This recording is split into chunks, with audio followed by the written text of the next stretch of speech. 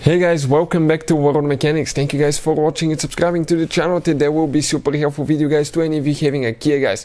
It doesn't matter what Kia you have. It could be Kia Sorento, Kia Sportage, Kia Forte, Kia Soul. It could be uh, Kia Rio, Kia Optima guys. Any of these Kias, if you have, if you have engine light on and any of the following two codes, I'm talking about code P2135 or code P2138. Stay with us, we'll explain what most likely causes that and how to fix it guys. It could be multiple things. We're going to explain about about each one of those things that we see quite often in the shop that cause that code and also how to test the different components. In addition, many of you constantly ask me to share in the comment section below, you ask me guys how and we do diagnostic on what computer we, we use. So this is the computer, we're going to talk about that as we go. Now, let me introduce you guys quick to the channel. Every single car we get at the garage, we try to make at least 2 to 300 free repair videos. Why we do that? Simply because our mission in the shop is to save you as much money as we can. All we need guys in return, please subscribe to the channel, like the video. That way we can keep providing this free information for free. Something else, if you want to see uh, videos about diagnostics, electronics, fixing electronic components, all that will be on our second channel, Electrical Car Repair Live. Check it out, we'll have quite helpful information.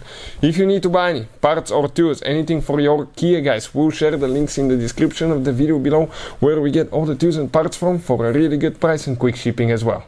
When you guys, okay, when you guys uh, disconnect electronic components, working close to radiator fans, anything like that, for your car safety and your own safety guys, always disconnect the car battery.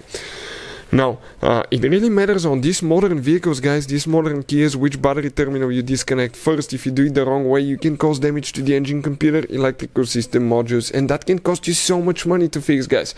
So, we have a video that teaches you why and how and which battery terminal you should disconnect first. So, the video, we'll share the link in the description of the video below. Now, let's explain what can cause that. So you need to come to the footwell on your Kia guys, find your accelerator pedal. That's a pedal that you press to accelerate, throttle pedal guys, also known, or, or gas pedal. That pedal guys, if it fails, you can get these codes.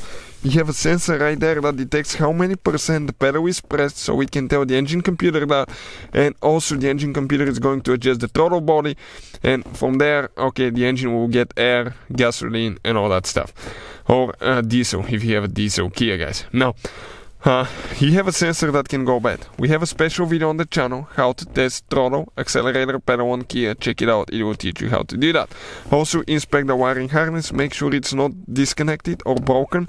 People will kick their feet up here sometimes and uh, I don't know why, but they do. And they break wires guys, so we see that quite often as well. Make sure you're not those people and make sure you never push your format underneath the pedal because that can damage it as well. Now let's explain what else can cause that too. Now another thing guys, this is the computer that we're using for diagnostics. It's super affordable, we'll put the link in the description of the video below. Maxicom, it works on almost any car you can think of guys, it's amazing too.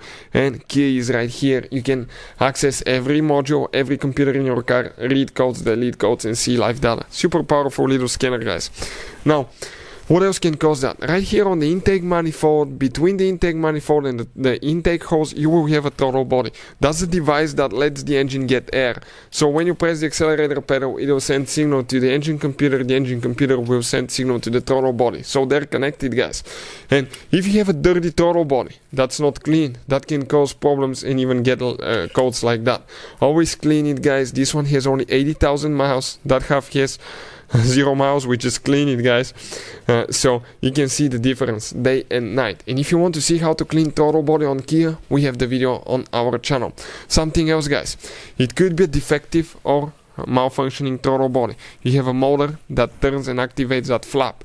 You have multiple gears and sensor that detect the angle of the flap. So if you want to see how to test throttle body and find out if it's good or bad, we have the video on our channel that's going to teach you how to do that. How to test throttle body on Kia. And lastly, check the wiring harness. Make sure it's plugged all the way in. All the wires are uh, in good condition. They're not broken, melted, eaten by rodents, mice, anything like that. Those are the most common things we see here at the shop. Hopefully the video will be helpful. Thank you for watching and see you next time.